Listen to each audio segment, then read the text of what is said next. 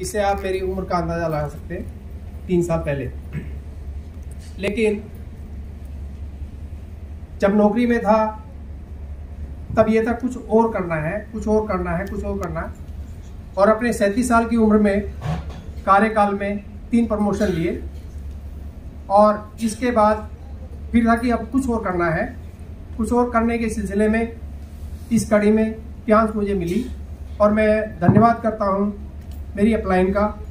और धन्यवाद करता हूँ मेरे मेंटोर डॉक्टर ए के पांचाल जी, कि जिन्होंने मुझे यहाँ तक लाने के लिए परफेक्ट मेहनत मुझे की, मुझे गाइड किया, और मुझे उन्होंने समय समय पर टोका भी है कि भाई इस काम को ऐसे करिएगा, इस काम को ऐसे करिएगा।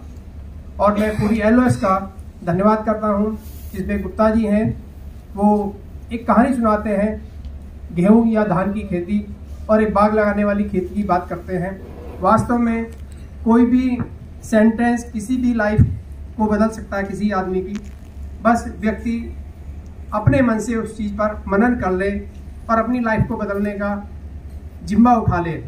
मौके बहुत हैं आपके पास और ये सबसे अच्छा मौका है। यहाँ पर मेंटोर एक से एक मेंटोर है जो आपको ऊँचे से ऊँचे रास्ते पर ले जाने के लिए तैयार है। और मैं धन्यवाद करता हूँ आई सिस्टम, जो एजुकेशन सिस्टम है वो बहुत ज़रूरी है। बिना एजुकेशन सिस्टम के हम आगे नहीं बढ़ सकते। और सबसे पहले ली सर का धन्यवाद करते हैं कि इन्होंने ऐसी अपॉर्चुनिटी बनाई है कि वो हर आम आदमी को भी खास बना सकती है।